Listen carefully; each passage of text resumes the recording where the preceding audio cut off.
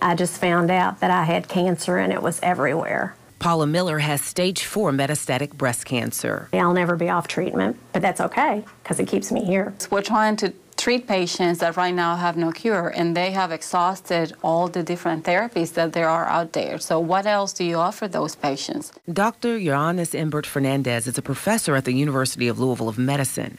Her latest discoveries on metastatic breast cancer were recently published in the medical journal Cancers. Her work is made possible by the nonprofit Twisted Pink. I think one of the reasons that Twisted Pink is so important to me is because it's looking for a cure. I've got to stay well till that cure's here. Determined, Paula Miller put her motto for battling cancer on a t shirt If they can treat it, I can beat it. And she's given away more than a thousand to other people fighting all types of cancer.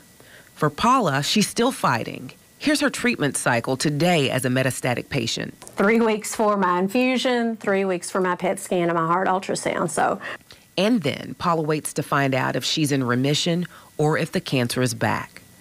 There wasn't a treatment for the type she has until 17 years ago.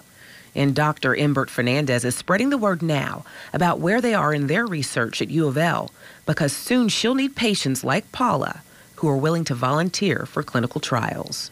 Right now, there's nothing. So those are the patients that we want to be able to offer something and, and cure. For me, and for all those people who aren't metastatic that dread the day that they might hear that. Monica Hardin, WLKY News. There's